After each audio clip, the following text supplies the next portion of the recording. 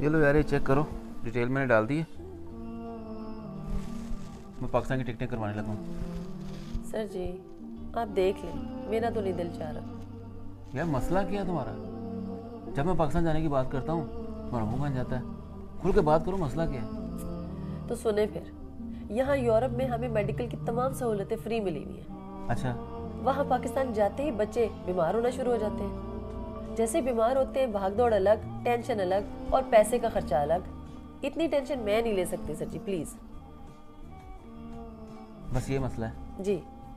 अगर मैं आपका ये मसला हल कर दूँ तो फिर ठीक है। सर जी मैं मज़ाक नहीं करी प्लीज़ मैं भी मज़ाक नहीं कर रहा। ये दूसरी दुनिया है। अब दुनिया मुख्तलिफ़ हो चुकी है। ये देखो। ये पकड़ो दस लाख रुपया अगर खुदा ना खास्ता। कोई मसला हुआ सेहत का तो इसमें से यूज़ कर लेना। फिर मज़ाक कर रहे हैं ना आप। ये दस लाख रुपए नहीं आपका पाकिस्तान का शनाख्ती कार्ड है। जी जनाब ये शनाख्ती कार्ड अब दस लाख रुपए का है।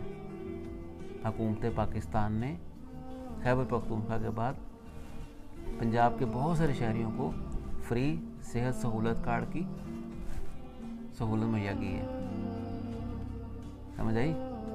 और हर ख़ानदान एक साल में दस लाख का फ्री इलाज भी करवा सकता है। और ख़ानदान का मतलब ये नहीं है कि एक ख़ानदान में सारे बच्चे एक शादीशुदा के नीचे जितने लोग आते हैं, वो एक ख़ानदान, और वालदेन के नीचे जितने गैर शादीशुदा हैं, वो एक ख़ानदान कहलाएँगे।